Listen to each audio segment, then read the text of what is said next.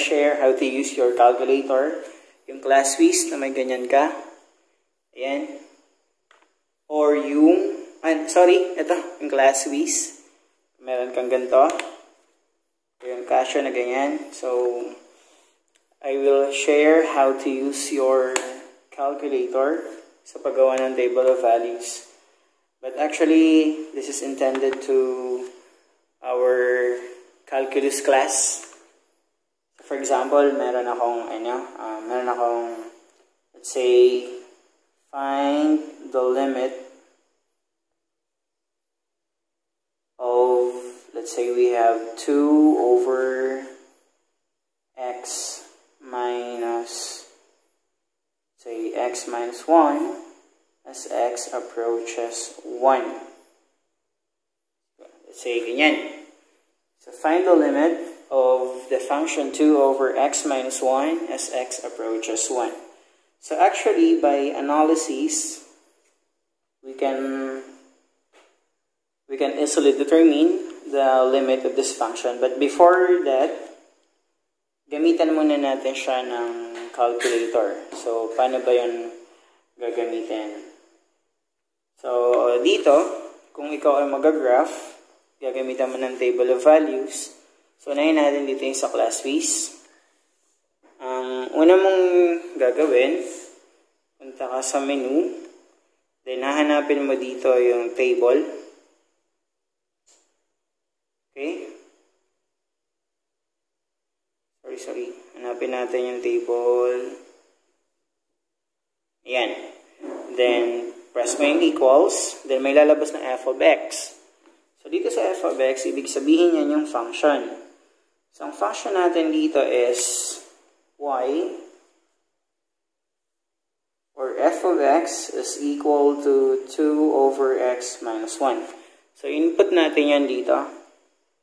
So, since yan ay fraction, press mo to. Then, 2 sa taas. Then, para mapagana natin yung variable, So, press natin yung alpha. So, pag press mo yung alpha, ibig sabihin, magka-function dyan yung mga kulay red, kakulay ng alpha.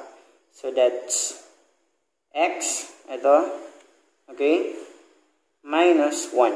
So, we have now the function sa calculator natin, then press equals. May lalabas dyan g of x, that's for another function. So, skip na lang natin yan, hindi naman kailangan kasi isang function lang naman gagamitin natin.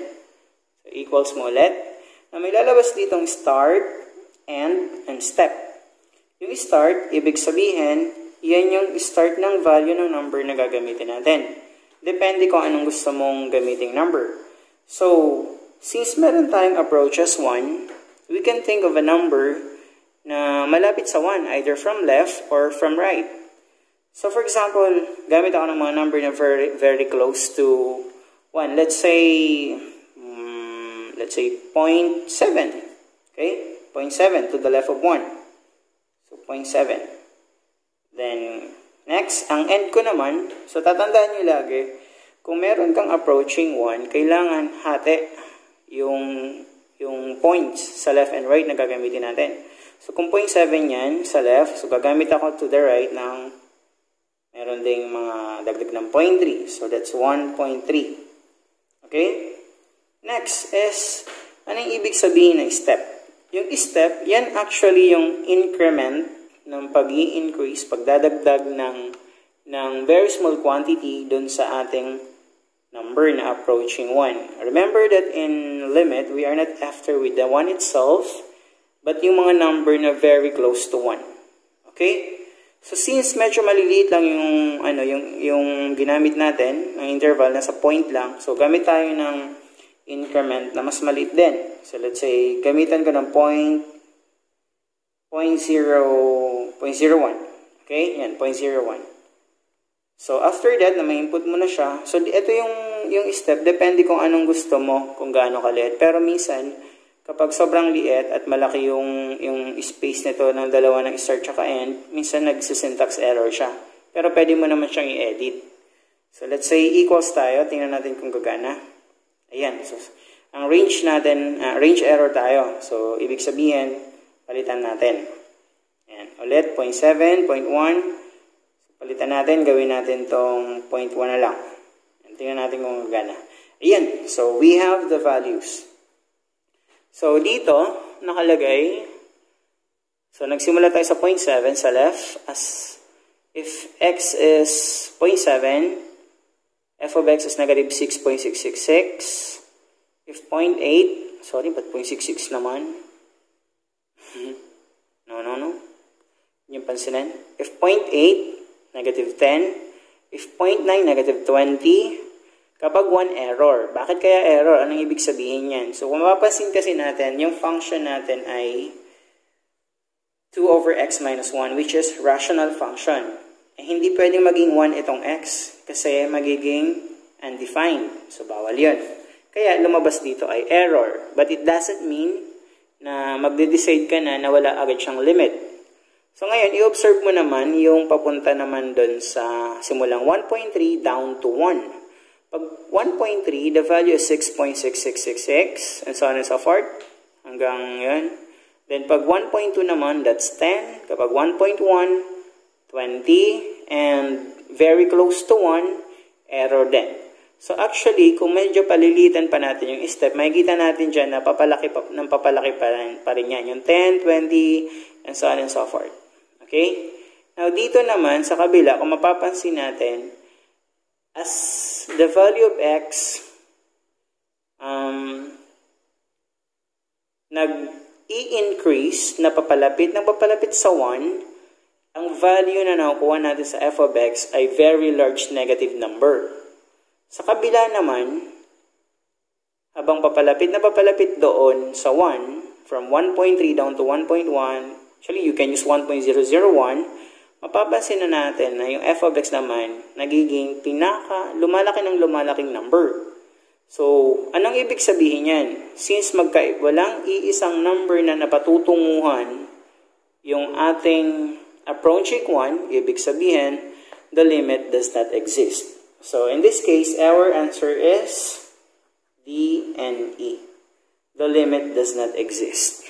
So, ang highlights ko lang naman talaga dito, how to use your calculator sa paggawa ng table of values. And you can also use this to, to numerically analyze if the limit of a function exists. Now, yung may mga gantong calculator naman, kapag ka-show na fx991es plus, so paano naman ginagamit? So, on natin. Then, mode. Dito, hahanapin natin dito yung table. Ayan. So, 7. Press mo ang 7. Okay, then input mo yung function. So, we have 2 over. The same lang doon sa class V's para mapagana natin yung red, yung mga yan. Yung mga variable, we need to press the alpha. So, alpha x minus 1.